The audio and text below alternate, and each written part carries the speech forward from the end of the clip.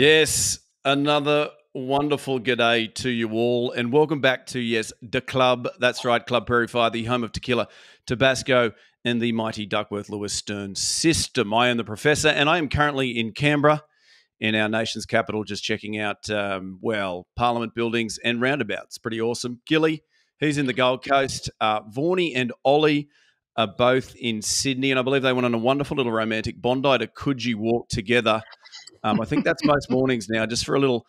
I'm assuming it's to come up with a bit of a um, a plan for the English team in India. I'm assuming Vaughany is now consulting Ollie on a full time basis, um, and he will be sending messages across to Stokesy. Um, there's been a lot going on in the world of cricket over the last week or so. Australia thrashed the West Indies, so but we may have uncovered a new star. England, well, they've finally arrived in India, but it's without Harry Brook. Uh, and we are ready to see if Bazball works over there on those subcontinent pictures. Um, minus Broady. What does England look like minus Broady? We have the Sydney Sixers hosting a BBL final in just a couple of days against the mighty Brisbane Heat. Uh, following that, well, that Josh Brown innings, goodness me, we'll get into that. Um, Gilly, let's start with you, mate. You were on BBL duty last night. Um, quite the inning, would you say? Uh, yes. Uh, hello, everyone. Wonderful to be joining you again from the beautiful uh, Gold Coast. What a spectacular place it is. Uh, and yeah, spectacular innings, no doubt about that. I've been on BBL duty uh, every night, it feels like. I've, if I haven't been on duty, I've been on an aeroplane somewhere. So um, trying to keep up to speed with everything you've just said there, Prof. But uh, Brown Dog, the big Brown, he was remarkable. Just extraordinary hitting. It was a, a pleasure to be there. Uh, a, a, ground that was just full of wholesome goodness. When Mum Chris was interviewed, she was in tears. Uh, it, it, turns out our Fox Sports bosses are going to fly her down to the final and put her up in accommodation. So it was a feel good story of the century, actually, out there at uh, out at the Carrara Stadium. So big night, big night. We'll just uh, time check it. We're doing this on what Tuesday, the day before the Big Bash final. So big night coming up at the SCG. Very much looking forward to it. And let me just say, gents, to those that can't see, that are only listening, uh, I'm holding up a champagne flute with orange juice in it. The request or the suggestion was it was a mimosa, but um, it does look like one. I probably wish it was one, but it's not. It's the only vessel for drinking in the house that I'm staying in that uh, could accommodate the orange juice. So, uh, top of the morning to you. that's that's a real shame, Gilly. Now to our two English members of the team. Um, a, how is Sydney? And B, how is that walk that you blokes are doing together? Yeah. Yeah, yeah. Morning, everyone. Yeah, the walk was nice with Ollie. We had a, a nice romantic stroll, just reminisced about you know, things that we've been doing of late. Um, Ollie kept me up to speed with how he's going off the field, if you know what I mean. He's having some, I would say, semi-success. I actually, I actually, I don't. I hope you don't mind me saying, Ollie. I, I was introduced to one of his old girlfriends on on the walk. I, I, I, I meet him in Bondi, and we just managed to go to a cafe. And who was outside this cafe but an old flame? Can you believe it? Lo- lovely stroll, wasn't it, Ollie? Lovely stroll. Thanks for that. I hope she, I hope she doesn't listen. Um, she's one of them. But uh, yeah, no, it was a it was a great stroll. We were just talking about um, England's huge success um, in India that's coming any minute. Yeah. How'd the conversation go when you stumbled across uh, old flame, shall we call it? Well, uh, how it went was um, I walked over the road with Ollie, and there was a lovely lady there, and all of a sudden there was a kiss on the cheek from Ollie to this lady, and um, you know, it was just a nice conversation. And then, oh, I'll see you Friday on the boat. Now, Hello. we then had a, a, a, little coffee and a juice, and he let me know. I mean, look, I'm not going to give any names away, but she's English, she's in about she's 30. I think that's what he said. Oh, yeah. Very attractive, uh, quite a tall lady. This podcast is about just reliving life, and uh, that was a lovely moment for me to meet one of your ex flames. yep. Yeah, very good. Now, Vaughany, you were saying were we getting into the India England topic? Is that where we were at? Well, what I was saying, Pro, is that you know England obviously play India uh, five Test match series starting on Thursday. It's probably the most talked about Test series of, of all time because of Bazball arriving in India to try and um, see how it copes with the tough conditions, the spinning pitches, um, the quality. And I thought uh, of, of many, many people who could come on the pod to discuss this uh, historic series, but no better than the best cricket brain, the player and personnel of, who's had so much success touring India. He's had a huge amount of success bowling to the great Indian batters of the past. And I thought no better than to get Phil Tufnell in his bed where he is now to come Hello, on boys. the podcast. And there he is. in his bed. Hello, Hello, mate. right, lads. I'm in bed because it's so. It, I'm in bed because it's so cold here, mate. Oh, it's Oh, yeah. freezing. Storm We, we've got we've got Storm Jocelyn, Storm Isha. All my fences have blown down. It's an absolute nightmare. We're flooded, so I thought I'd take to my bed with a jumper on and just watch a bit of telly. Hey Phil, before nice to see you, Phil. Um, And you, mate. before we, we get on to this, you know, the serious cricket chat of uh, the India series, just tell me, um, you messaged me last week, or was it the week before? And you were on holiday, and you were on a, a body sculpting holiday. Is that correct? Oh, It was the body holiday. It, yes, I went. I went to a spa sort of holiday. It Yes. was quite interesting, Mike. I was up in the morning doing tai chi. You know, hold Wow. the ball, drop, you know, comb comb the horse's mane and push and everything like that. So uh, no, thoroughly enjoyed it. Had a lovely time over there. A couple of weeks, and now come back to this. It's a bit of a nightmare in uh, in England at the moment, as you say. We're flooded winds, 90 mile an hour winds, and everything's flying around. So it's a little bit tricky at the moment. But no, Well, I had a lovely time over there. Phil, I know you're into your fitness and stuff, but what did the day look like on holiday? Did it Well, uh, conference Tai Chi? Tai Chi at seven, Yeah. uh, and then uh, and then laid on the beach till three, and did a bit of aqua And that was about it. But uh, Dawny was off doing all the fitness, so she loves it over there. So I, I was just laying on the beach and messing about, really. But the food was lovely, uh, the wine was great, and had a lovely time. But now back and looking forward to Thursday. Can't wait. I think it's going to be an absolute belter. Now, obviously, just two days to go. England have they arrived a little late in Hyderabad? have they Well, left to the last minute? Uh, they've been playing golf. In, uh, Oh, well, sorry. yeah. Mm. I- I- In an in an ideal world, you- you'd probably want to go over there and have a bit of a warm up game and everything. But I, have been listening to some of the feedback coming back, and um, you know they went to Abu Dhabi where they can control their practice conditions. You know they they know what they're going to get. Um, so I don't see it as a huge sort of like mistake not going over there earlier. Plus, you just can't do it these days, can you? Um, I think last time England won over there in the warm up game. They they faced a sort of a third rate Indian side and faced four seamers anyway. So you know India weren't going to give them ideal nets, ideal preparation. So I think going over to Abu Dhabi where they can c- control the practice environment, I, I, I think might stand them in good stead. And also, there's a couple of nice golf courses.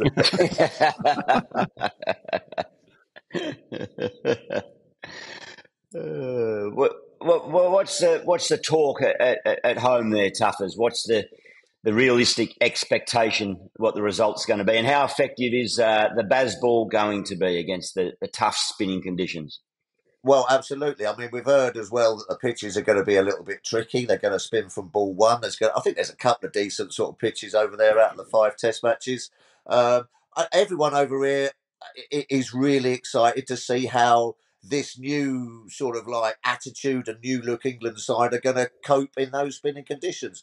As you well know, Gilly, it's, it's I still think going to India to to to beat India in India is probably one of the biggest challenges in uh, in, in Test cricket, isn't it? Really, so uh, it's going to be For sure, fascinating for to sure. see how that turns out. Yeah, see, so it's going to be fascinating to see how that all sort of comes about. I think everyone's really up for it. Everyone's really excited to see how what the outcome's going to be. Um, yeah, so we're all looking forward to Thursday.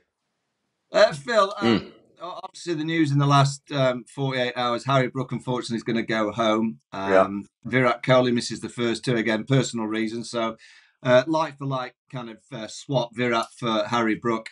Um, You know- There you go. right, okay. that one up, Ollie. There you go. just, just look at the just look at the last 12 or you know, 12 test matches. Um, now, all, all the talk is of 5 0, Phil. Do you, do, you think England will win 5 0 or 4 0? What, what do you think it's going to be? Well, I, I, I, I, think we're going to struggle a little bit, you know. Um, as you say, it was a bit of a loss losing Harry Brook. He's a fantastic player, great player of spin. Uh, but I think in a funny sort of way that it might just balance up the side a little bit because I think they're definitely going to go with Foakes keeping. I think on those kind of pitches you've got to go with Foakes. I think then that Bairstow, so there's not going to be that awkward uh, that awkward conversation with Johnny Bairstow.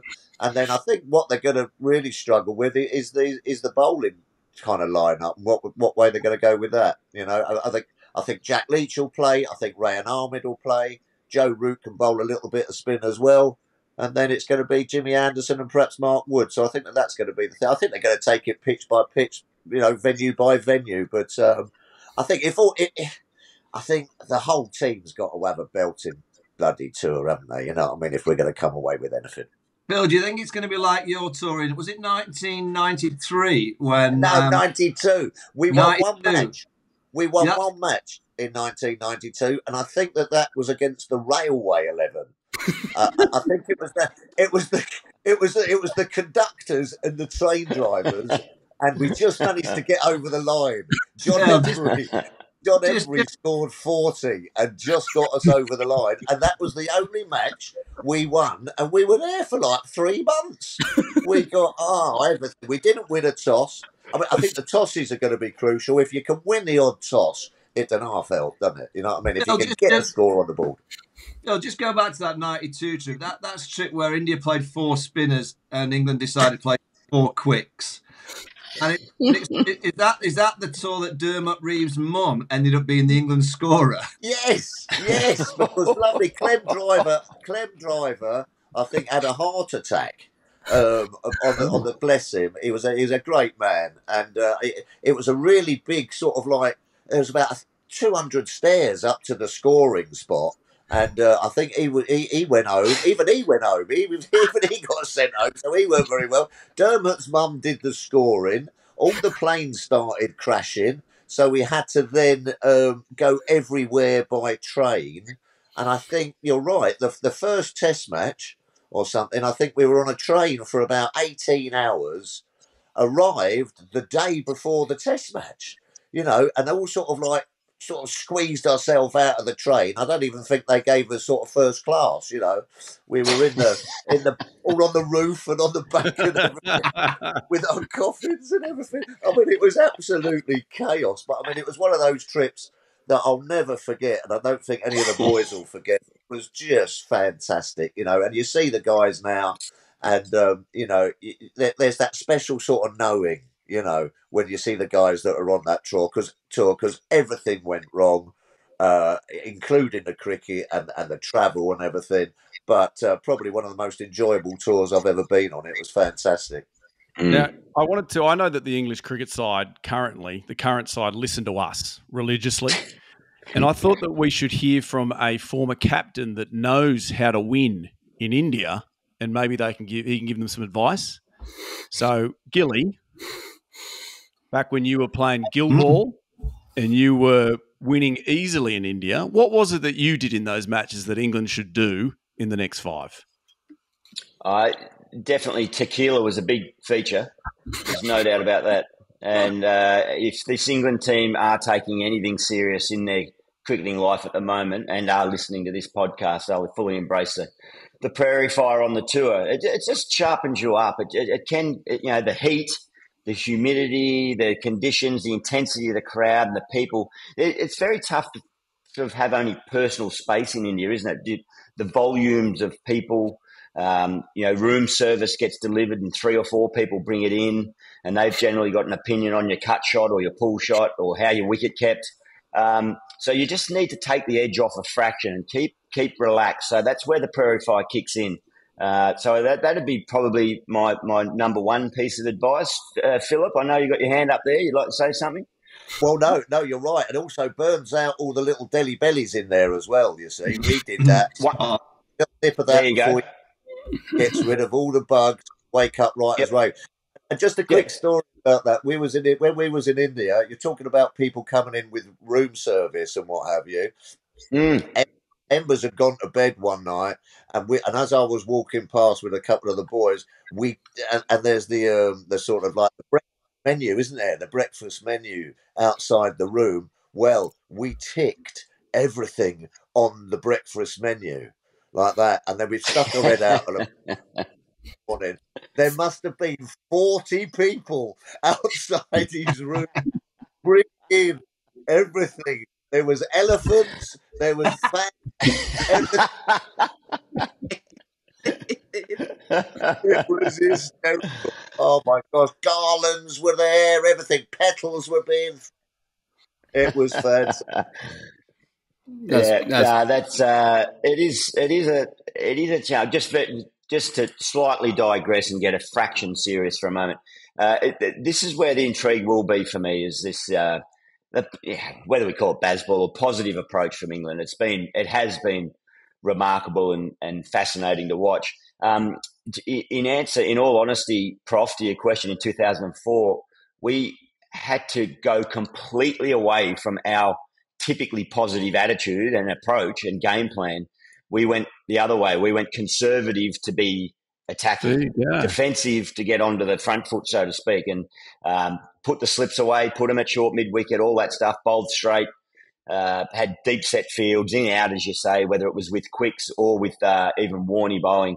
So um, yeah, that that's where, and we were able to get it done. Just play on the ego a little bit of what was a, a brilliant Indian batting lineup at the time with Tendulkar and Ganguly and Dravid and uh. So that that's that's good. We had to swallow our pride a little bit. Um, again, that's going to be fascinating to see if England can have that impact and control the game with the positive approach, or whether at any point they need to just pull the reins back in. But it's going to be it is going to be good fun to watch. Will England do a reverse Bazball, Vaughany? Will they? Well, well, will they put I, the blade away?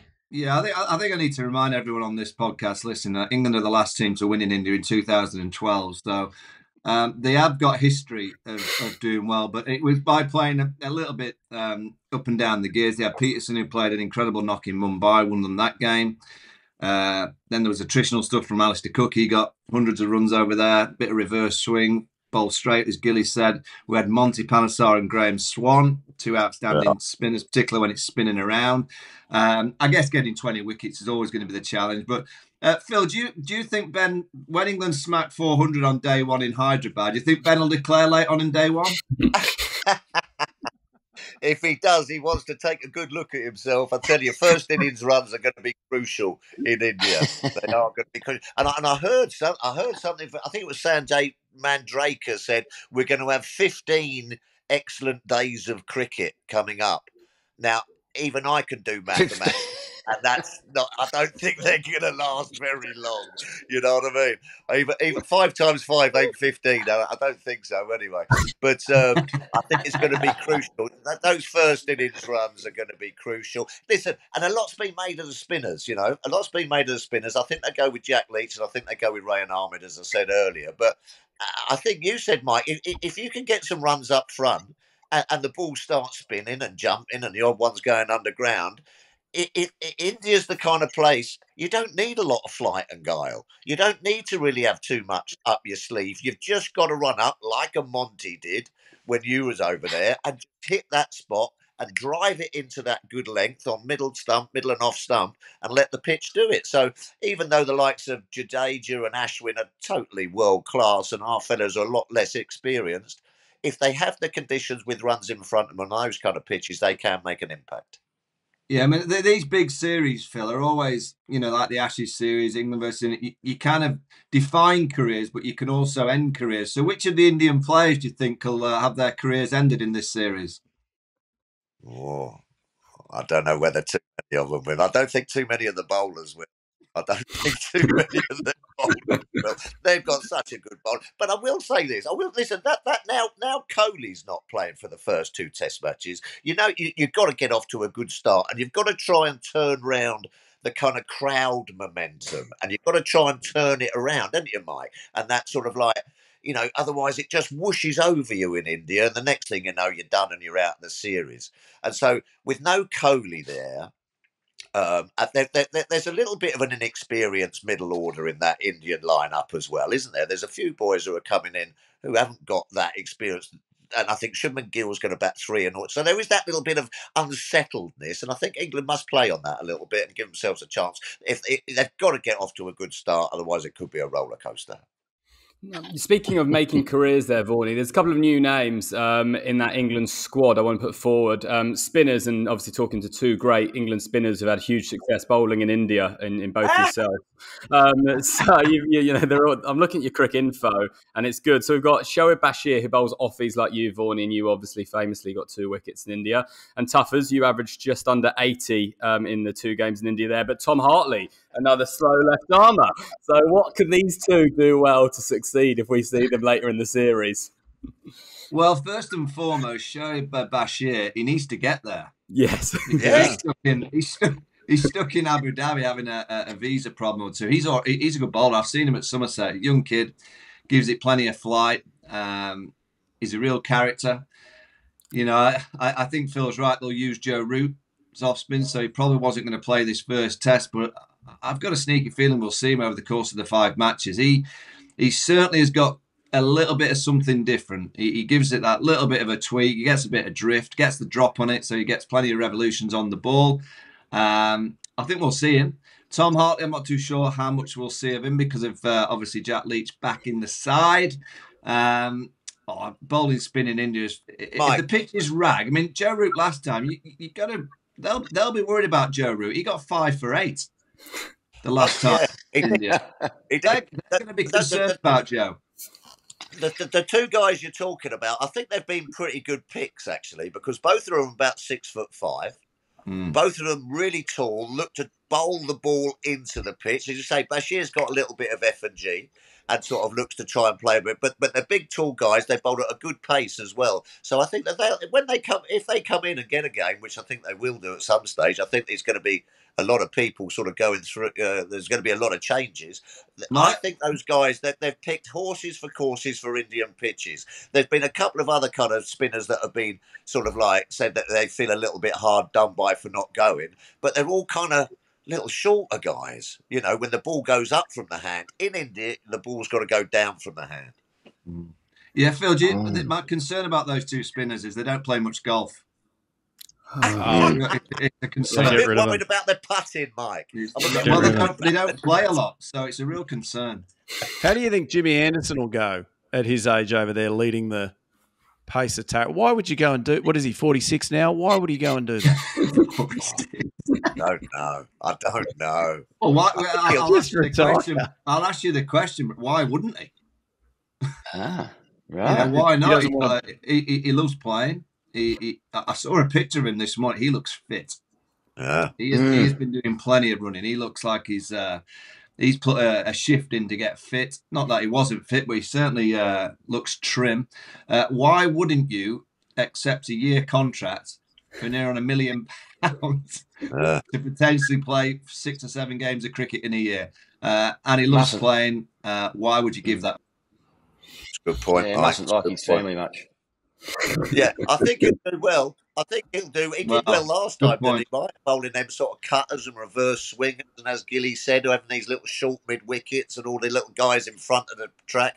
I think he bowled pretty well last time. Well, he's worked on his run up. I mean, I think at the age of forty six, as you mentioned, Prof, he's finally found his run up. Oh, handy. he's, he's, he's, he's getting close to 700 test wickets, so it's a bit of a warning for the rest of the world that he's found his run up.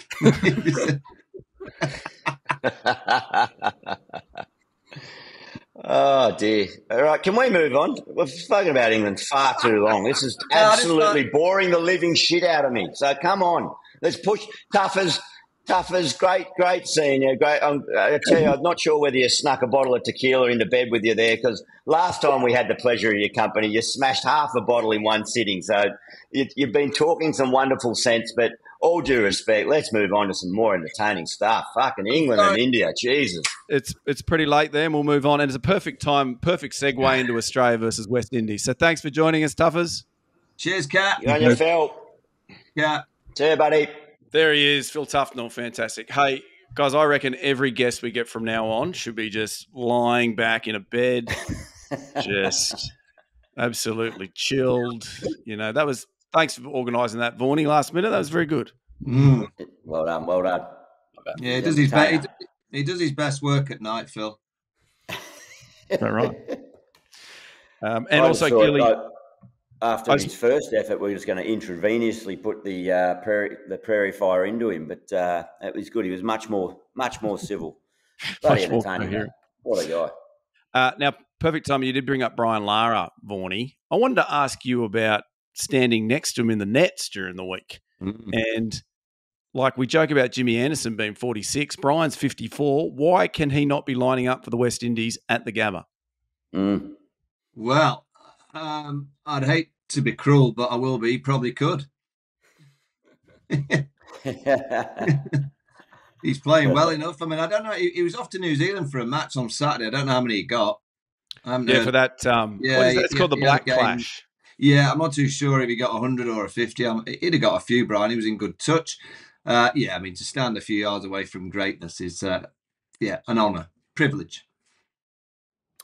Hey, Vaughany, yeah, no, I totally agree. And what a what a what a big thrill for Fox Cricket to have him. But uh, talking of Fox Cricket, mate, congratulations, mate. You did a sterling effort. You took the reins uh, in the absence of, um, I guess, myself and, and Mark Howard and Huss. We were off doing the Big Bash. You you were uh, line producing. You were directing. You were hosting. You were doing the toss. Great toss too got the big Ravi bowling action in there, didn't you, at the end there? And uh, the flip of the coin. Uh, uh, so congratulations, mate.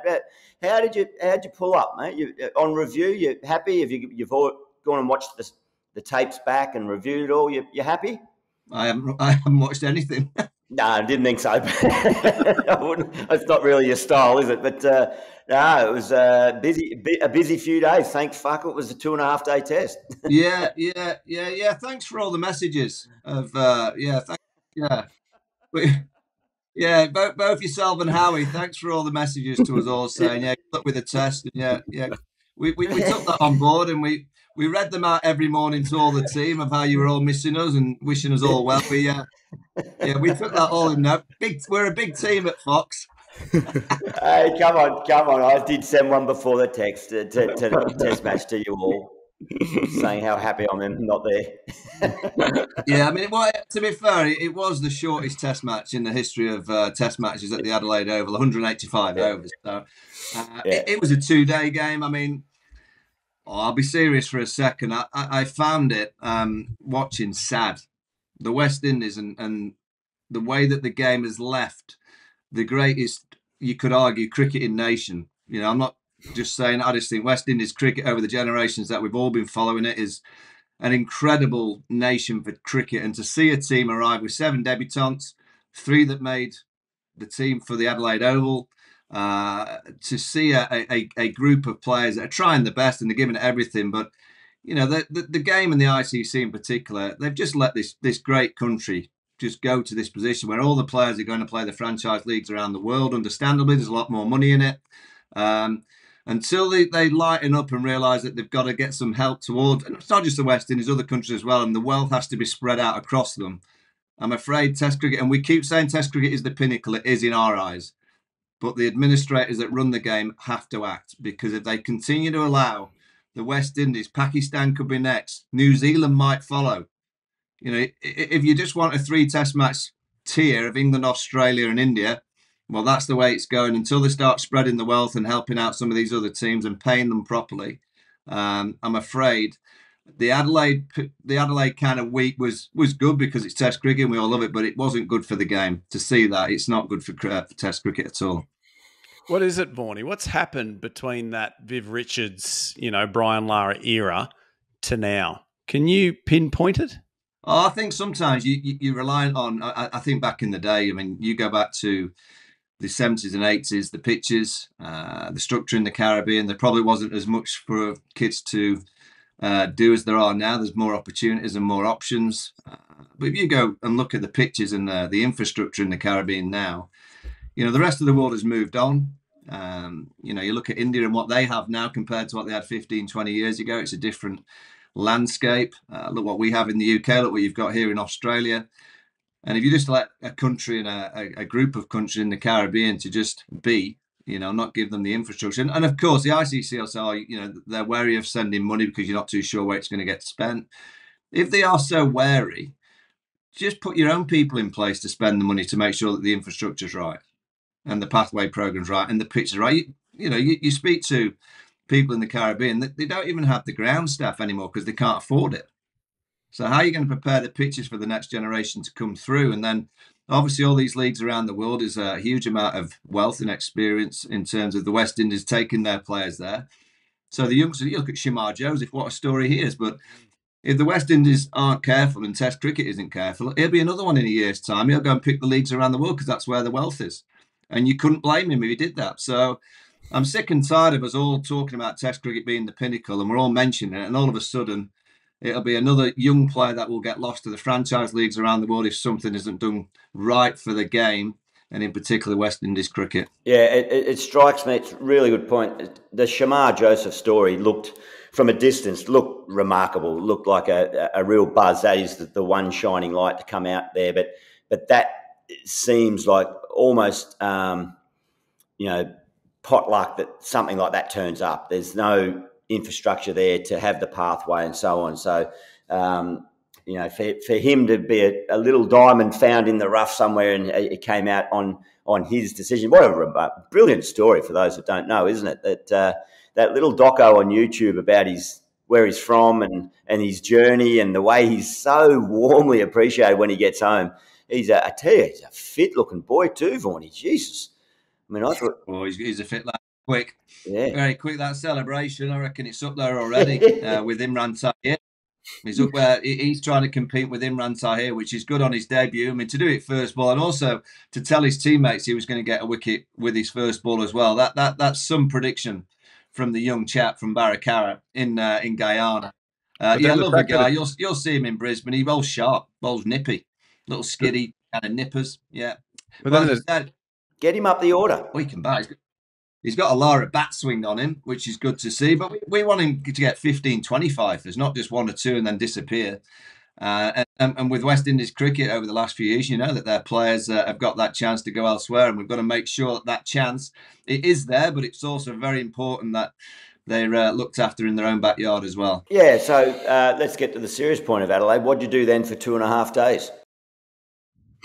Uh, well, very yes. I got out of there and came back to the Coogee. Just on the Coogee, right? I'm, I'm intrigued what you all think. So Coogee, I'm being told is always uh, pronounced Coogee. Yeah, it's Coogee. Yeah, but it, it, how? Why is it spelled C O O? Uh, if we are we really going to start questioning how Australians say particular names because we'll be why here for months. Why isn't it C O U? Could could you? Could you? Could you? I, look, I don't know. Is it an indigenous name? Maybe that's how they say it. I'm not sure. You're all, yeah. I think you're getting it wrong. Ollie, what do you reckon? Is that correct? I'm glad you've come to me because I've just googled it and um, absolutely right. Coogee is derived from the Aboriginal word kuja, which means a bad smell or a stinking place. That's what Coogee is. you know, it's funny now because on, you go there and it's just full of Englishmen. I think you'll find that uh, definition was uh, had been updated more recently with the influx of English coming out. I think prior to that, it was um, beautiful pastures where the water runs, the ocean meets the, uh, the, the land, but it's been updated since the influx of the Poms. I, look at looking at this, Vaughnie is totally right. The original spelling is K O U G E E, and the smell was because of the rotting seaweed on the beach. That is why it's there called a drinking place. and and, there you go. and the Irish. And the carcass and the carcass of their last Ashes tour of the English. That's rotting still on the beach. Having said all this, good joint and a good joint for you to stay while you're out here. It's a good spot. Some very good pubs, good hotels. Very nice. Uh, it's very lots nice. to look at little little Jack's on the corner looks after me really. So yeah, that, there's my answer, Gil. I, I spent a little bit of time in Little Jack's and played a bit of uh, golf. Yes, I saw that. Snuck down to New South Wales Golf Club, hit a few balls, met a few friends, met a few, uh, had a couple of meetings. Just just general shite, really. It's been nice. How much longer are you here for, Vaughnie? How much longer you got here? I can't I can't give that kind of detail away, Professor. You know, in, in this world of security, you shouldn't be telling people when, when, and where. Oh, so you've told you've Yeah, told your two. missus. it's, cloud, it's clouding in. I can't get the flight out. It, the storm's coming. Yeah. My my missus thinks I work on the Big Bash every day. Right. She has no clue that the finals this uh, Wednesday. She thinks it's on like February the fifteenth. I'll give you a tip, mate. Just just ease up on your uh, Instagram. you might be given a, a hint. Now, we're on the Big Bash, boys. Should we get into that just quickly? I mean, we touched on it last night, Gilly. That yeah. innings by the bat maker, by the wood whittler, um, who uh, imagine that. So he now sells bison bats. Is that right? And he's the bat that he used last night. People can now buy. Yeah, Coop, coopercricket.com.au. That's uh, so he literally makes the bats that he uses and uh, and a whole lot of others, and uh, that they look like good sticks too. But what a, what a humble young man. His mum was in tears last night. Um, Dad was there. It was uh, pretty emotional, and he he threatened to do this last year. He got a quick fire sixty in one big bash game, and and and probably hasn't pulled the trigger properly again. But Jesus, he got it right. It was as clean a hitting as you're ever going to see. Um, it's a big, it's a decent sized boundaries up there at Carrara, and he he just kept launching over it. So I hope for his sake, if he can just get going uh, at the SCG and just get get the heat into the game, um, I, I think Sixers start favourites, but the Heat have a bit of momentum from last night, and they've been the dominant team all season. So it should be a, a ripping final. Gilly, you're speaking very highly of uh, Josh Brown, then rightly so. Does it have anything to do with his interview afterwards? And they said, you know, was that Oh, know, yeah, pretty yeah. special? When I just loved growing up watching Gilly see ball, hit ball. Um, does Well- that have anything to do with your? your I've, I've mentioned the mum twice now in at the top of this podcast, and just again, but only to try and get to that exact point. She did tell me when I gave her a big embrace and said, "Well done, be proud, enjoy your boy," and she said, "It's all because of you, Gilly." So thanks, Kat, uh, Chris, um, Chris Brown. She'll be at the game tomorrow night. We'll have her on comms somewhere probably, but uh, yeah. You think Catherine will be there as well? I did see. I saw one grab with his mum, and it was the most Australian response I've ever seen in my life. They asked how she's feeling, and she said, "I'm just fully stoked." I went, "That's so wonderfully Australian, yeah, fully stoked." Absolutely. Um, great news. So you, uh, do you both? If we do a quick little preview for Sunday, um, obviously Sixers go in favourites. Uh, the great man Stephen O'Keefe, sock, who I did ask to come on today, but completely ignored my text message. It'll be his his last game at the SCG. He'll catch the ferry across as he does. He, gets a ferry and then he gets an Uber to the game from Manly for the last time. Um, what do you reckon, boys? Will the Sixers smash them or will it be a tight one? I mean, is it going to be his last time, or will he kind of lift the trophy and go for one more year? He's the only player in cricket history that you know. You talk about, you know, we've had Wasim on talking reverse swing. Uh, you know, you've got bowlers bowling ninety odd miles an hour. He's the only player in cricket history that somehow he, can take the air out the ball. Mm. I don't know how he does that. It's remarkable what he does to the ball. He just and, and he. I know he's only a short chap, but I don't think of anybody in the history game that makes the ball bounce the least. Mm. He can make a ball land and bounce about a millimeter off the deck. So I, I'm going for the Sixers, home territory. Sock in potentially his last game. Uh, Moises Henriques, I think, uh, a genius as the captain. I think he's just Yeah. got that knack. He's got the left arms, he's got the variations, but he's he's got uh, plenty in his locker. So I'm going to go for the Sixes. Yeah, yeah, it's all good, very good points, Vaughny. I think, uh, uh, look, my, I'd love to see the Heat get up a sentimental one there, just uh, on the back of, um, you know, Brownie's mum giving me a hug and telling me that it's all because of me. Um, but uh, I think the Sixers do start. There's no chance Sock's going around again, Vaughny. I tell you why. He's as soon as he's retired, he's moving up to northern New South Wales. He's going to live at a place called Lennox Head, which is my old stomping ground. It's in that area where I grew up. Um, he'll get up there. He'll he'll smell the aromas of the local uh, community. He'll get peace, love, and mung bean stuff. He'll buy a little farm with some angora and goats.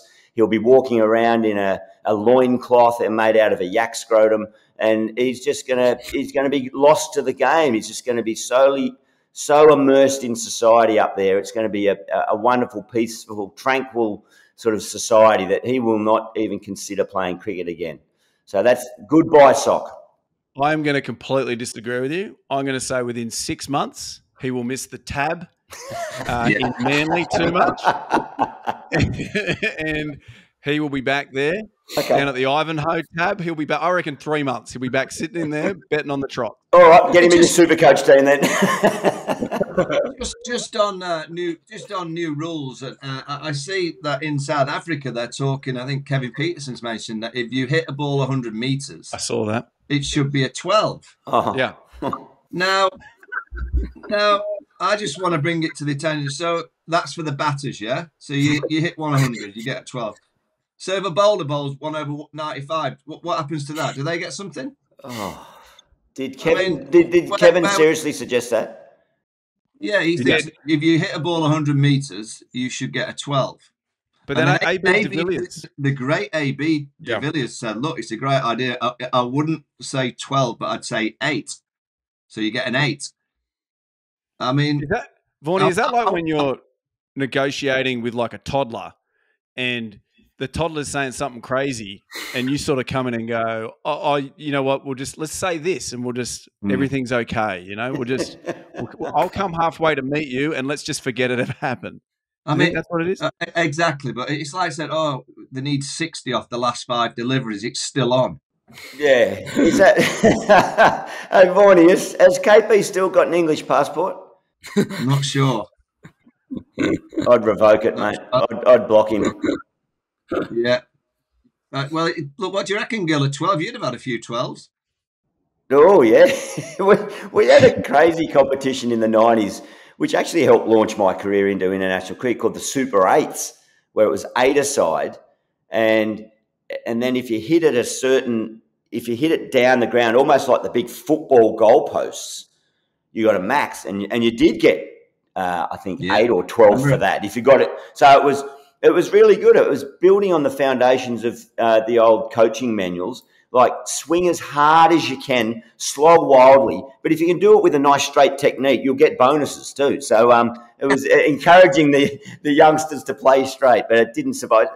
I think it cost hey, Australia about a million bucks to put that tournament on, and it survived one year. Ollie, just uh, just on my career stats, if, if we go into the new era of 12s, obviously they'll have to backdate all of us.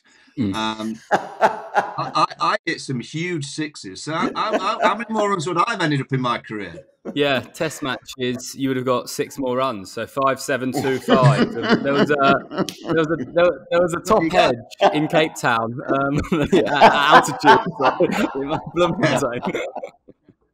well, there you go. Six more. Hey Ollie, have you also have you fact checked Tuffers yet? Just to double check those um, ones yeah. that he was tossing up yeah, there was a little bit on Tuffers. The, the main thing was he got the year wrong in India. It was 93, not 92. Um, and oh. he bowled in one game. First, in, first innings was 41 overs, none for 132. Um, but then he did, he did, he did bounce back with 39 overs, four for 142 in the second innings. Now, gents, the time is getting on, um, and we have a rather large announcement. Um, I don't know if it's real or not, but it's well, it's the fact that we we have a sponsor again. Um, what? what? They, they, said it would never happen. Um, we, we, yeah, Ollie, do you want to take the reins here and explain yeah. to the guys? Yes, absolutely. It's part of the social update, um, of course, at Club Prairie Fire. Um, and uh, I'll get on to the sponsor first because they came through socials, is how they, they found us. But there was a bit of um, hype after Brian Lara. We had Rodeo Canning say a shorter episode this week, but still a goodie. I'm starting to feel sorry for Vaughnie with all the bullying. Wait, no, I'm not. Lol, keep it up. so anyway, um, he's done that, um, and um, so that was absolutely fantastic from them. And Brian Lara, speaking of that game, he actually struggled. He got nine off 19 balls and actually got out for less in the black clash. But it, they said he they wasn't meant to get out, so they gave it a no ball, which was very dubious. Um, so um, um, did you did you see Jonathan Thurston playing? Was that this yeah. year in that yeah, Black that was, Clash? Yeah, yeah, absolutely. He was unbelievable. He uh, he's a rugby league great, Vaughnie. If you haven't heard of him. Uh, one of the all-time greats, and he played, and he was he was wasted to rugby league by the looks of things. Amazing stroke play. Sorry, Ollie. No, he no, absolutely. As and Ruben Love, the Hurricanes rugby player fullback, took one of the best catches, um, but still fell over Yeah. the boundary for six. Um, and also, so the, the Kevin Pietersen thing. He said he he mentioned the twelve runs two years ago, and then this week he said it's happening. So there is a league who seems like they've accepted the hundred meters being twelve. I don't know who he knows or who he's speaking to, but it looks like Oh, that. it'll be South, South Africa League. Yeah. Well, Heinrich Klaasen hit 150 meter six uh, this week in that league. So I don't know how many runs that's counting for. That How many? How many? One five oh? Yeah, I, I showed Vorney it on the on the At the wall. ground. It was it was the biggest six of them. That, that's gonna, that's going to be worth it. 150 is 18. Yeah, it- it- extraordinary. But the main update Jesus. From socials, that is right. We had a message um, from the absolutely wonderful David Denton um, from Professional Home Services. He loves the show, and he's. I said I gave him a call yesterday, and I said, um, "What do you want? What can we? What can we do? How can we help you?" He went. Oh, you just reminded me of me. We are a few mates who met at the cricket club and decided to start this company. Basically, a few nobodies and battlers who are trying to make it big. And I said, "Well, that's the podcast," and um, he agreed. That's That was, that was really nice. That was really nice of him. So we do have um, a little segment um, for the next few weeks with Professional Home Services. And uh, Gilly, I think you're going to intro for us and, and tell us what it's all about, essentially. Yeah, well, fantastic. Thank you, David, and, and the team at Professional Home Services. Yes, battlers just trying to hang together, have a laugh, and get a job done. And, and what they do, they specialise. They come into homes and uh, and, and rectify any issues that might have been uh, left behind by previous jobs uh, that have been done by know, other trades or uh, maybe a bit of home handiwork. I'm definitely going to get getting David and his crew over to my house to fix up all my fuck ups at home uh, as a handyman. But um, if anything Wait, needs repairing or made good, if you like, Which house? oh well, yeah, that's all right. We can sort that out. I'll, I'll, I'll shuffle them around the portfolio, mate, and uh, we'll see what we can get to. But um, but yeah, yeah. So they, they come in and, and, and, and, and, tidy up and repair things that need fixing up around the house. So it's, it's perfect. Uh, You know, stuff that you can just get them in. They, they're swift, get in, get out, and and job done. So with that in mind, we thought the segment we'd go with is someone around the cricketing world. We, we can all pick one um, who needs something repaired, and we're expecting them to bounce back and be shiny and new and, and sparkling, just like the professional home services do to your house. So um, I'm going to start with uh, redemption story for Johnny Bairstow.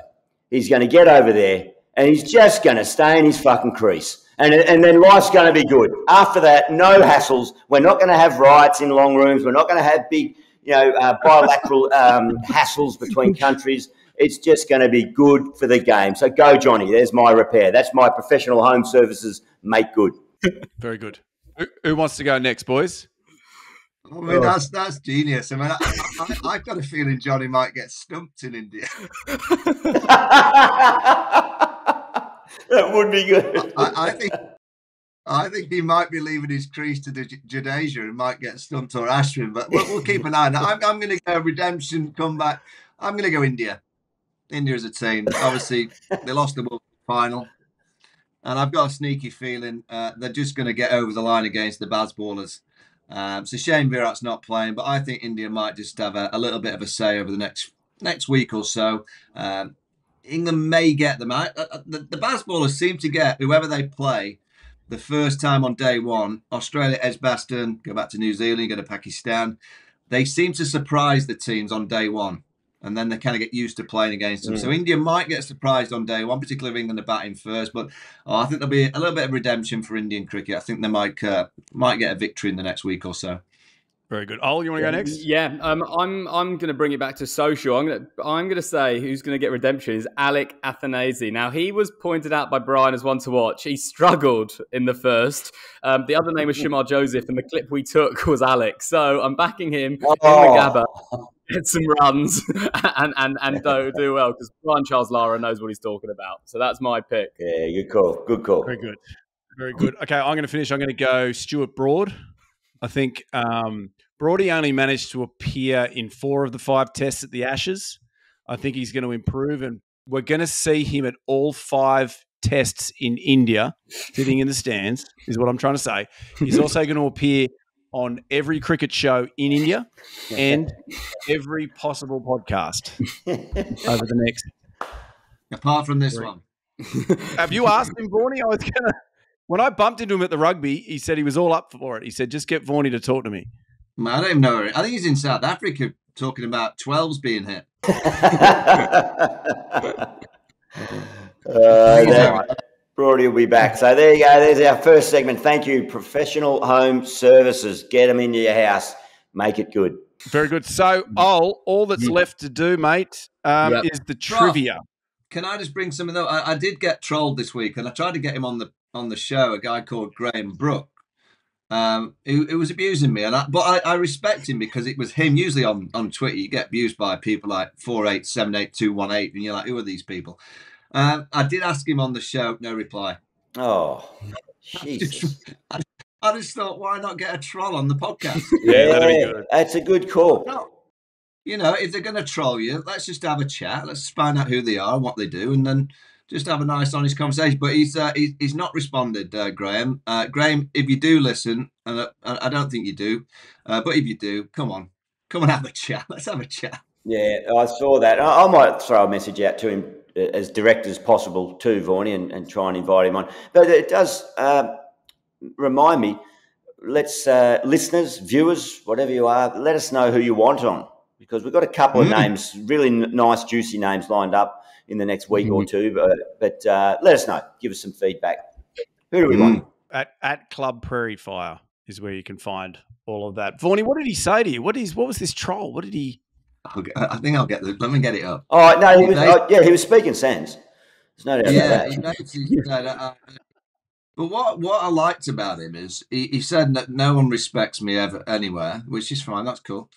But then he then messaged me about my opinions on county cricket, and I thought, well, wait a minute. If if you think I'm fucking useless and you don't, why are you really? Why are you listening? so I didn't quite get him, but we'll get him on. I'm sure he'll respond. Yeah. Um, yeah, he, he- he'll be having a bit of downtime at the minute. I don't know what he does, but we'll find out. We'll have a nice I chat. love it. Yeah. Every everything you hear is don't give oxygen to trolls, but we are going to promote this bloke Correct. as Absolutely. much as we can. We could have a troll section on this podcast. We have a troll a week, one a week. We, by the way, we, we, let's be honest, we haven't got room for them all. we would be here a. I wonder if he's got a moustache. He might be eyeing off an ambassadorial role. Well, let's have a look. Let's have a- I don't think he has. I think he, no, I don't think he has. He hasn't got a tash.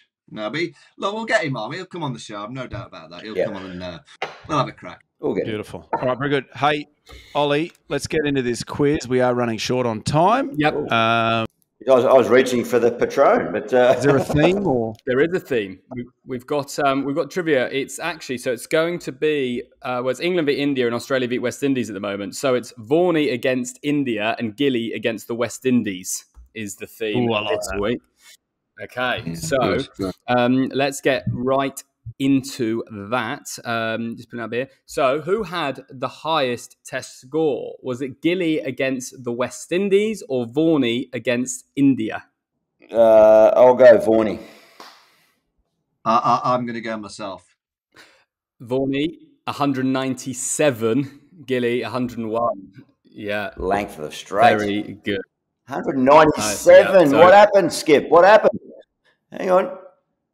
Well, there's a story. There's a story behind this. Uh, the week before at uh, Trent Bridge, I was facing Ajit Agarkar on 195, and I tried to launch him over extra cover for six, and got out caught behind. The week after at the Oval, I was on 197, and guess Oh. what I tried to do? The same again. How did, how did you get out that time? oh. I think the Ashish uh, Nehra this time, left arm. yeah. So there you go. So, so just back to back 190s in Test cricket. Times are tough. I never, I never got a double. Oh. You also, um, we mentioned, didn't we? You've never got out in the 90s, but you did get out in the 190s a few times. I had an issue around 180, 190. Yeah, You got to learn to concentrate, mate. just tired, just tired. Oh, going well, great. Going for those um, twelve good. runs. Um, Oh. fantastic. Yeah. Okay, so one, one all there. But actual fact, Ollie, I reckon at Trent Bridge I might have hit a six that was over 100 meters. Uh, does that does that get me too? Jeez, too That's your 200 there. Oh, Hey, I'm going to clap 40's, 30's first test 200. Well batted. Well done, mate. Well deserved. Uh, all right, number two. Who had the more half centuries against the opponents in Test matches? Um, is that Varney against India or Gilly against the West Indies? Gilly. yeah, I'm going to go me. It is. It's Varney three, Gilly four. Yeah, Mm. absolutely right. The, Mm. guy, the boys are on today, so two points each. Looking for full houses. Yeah. I, What con- about I, I, conf- I confidently said me there thinking it was about eight. and it was only four. To be honest, to be honest I, I, I thought I was just one. um, and what about question number three? Is centuries. So Gilly against the Windies and Varney against India. I'll go me. Vaughnie. Oh, we got a split one, boys. You keep Well, saying. yeah, the looks, looks like, same. looks like we're going to a tiebreak. Uh, Gilly one, Varney four. Yeah. Yeah. Yeah. well, So there you go. Very, very good going. Three all. Who had the Three better all, yep. average against their opponent? I'm going to say. Oh, I did. I'll get I'm going to go myself. oh, geez, I was going to jump in first too and say Vaughnie. Okay, so we'll Yeah, same back, again. Back to back 190s. Mm. Varney's was a very impressive 72.57. Gilly Wow. at 47.91. Also, the four all. Going to the last one. Okay. What about ducks? Who had more ducks? Gilly, West Indies, Varney, India. Oh, I reckon I. Hang on, let me think. 2000, 2001, I'm going to 95. go Gil. Vaughnie. I'm going to Oh, go. here we go. This There's is the good. break. Varney. For the Go. win. Vaughnie. They've Vaughnie. gone, they've gone for each other this time. Gilly, actually, Varney got one. Gilly got zero. Yes! Oh, There you go. Gilly gets the oh. win. Very, very I, I, I, I know it was at Lords on day one at Dyer I think it, Let me guess, trying to launch over cover for six. I, mean, I reckon it might be the first over of the game. I reckon um, if, if we look closely, their social media teams probably shared it as well. So we can probably dig that out in the next week or so. Oh, it'll be in a top five somewhere for sure. Um, how many balls did Varney face? Can you see? Oh, was it Um, right at the top? doesn't actually say, but it, um, not many. I, I'll, I'll dig it out, India, but very impressive that one duck. I'll, I'll find it now. I'm sure it was a good one. All right, hey guys, we are well and truly out of Yeah. time. Um, thank you so much for joining us. All that's left's the toast. I'm pouring as Um, we speak. Uh, Very that good. one. And yeah, the comment was that Brian's episode was a little bit short, so we've gone over time today. We well, have, yeah. well done, uh, Vaughnie, on getting um, the cat Tuffers on. Uh, well done, all. Good luck to the combatants in the BBL and to uh, West Indies, hopefully fighting back and showing that there is life in the old dog of Test cricket yet in the Caribbean. Cheers, all. and Cheers. also, also to Varney's double ton. Yes, oh, yeah, well batted. True, true. I've just looked at the No sixes. scorecard. There were zero sixes at Trent Bridge. Oh, no. What about the oval? What, what about the oval? Uh, it was Agarkar, and at the Oval there were also zero sixes. Mate, you are adding mayonnaise to your career, Vaughnie. Come on. but did Varney hit a, What about a the four 180? that went for 100 metres? What about the 183 at Sydney? Did I not hit a few there? 183 with a six won't get you to two, 200, so we can't celebrate. I might have hit four sixes in Sydney. That gets me to double. It does. How many sixes did he hit? All in Sydney. oh, God, this is some real. Dig- what I will find is it was a seven ball duck that we were asking about at Lords, um, LBW. Ah, not first over. No, no, worry, Lords. The, the uh, LCC, they'll play every ball this afternoon. Don't you worry about that. maybe, maybe you're thinking about when you were bowling, Vaughnie. Is that where the mix-up's coming? All these sixes that you remember. Do I do I get anything for that? No. What, for conceding I 120 metre six? I got it from monsters. they should be credits. They should be credit notes. You get some in your bank. Oh, By the way, Gil, uh, the day-night game pink ball. Do you think it'll go into Saturday? Uh, look, I tell you what, it, it probably wouldn't, but I believe uh, there's a huge, humongous cyclone encroaching on Brisbane. So uh, we might be there, mate. Get ready for some fillage. Feel free to take the reins. you can continue to host and produce whatever you like when the village comes in. But uh, I, I, I've had my two days worth. I look forward to seeing you, mate. All right, very good, boys. Go well at the Gabba. Um, hope the West Indies do a lot better. Enjoy Brisbane. We are at Club Prairie Fire. Remember, there is a hidden I in Prairie, P R A I R I E. Uh, we'll be back next week. I'm not sure where, lads. Somewhere. We'll work it out. Maybe in person, maybe not. Anyway, thanks, Tuffers. Bye. Adios. See ya.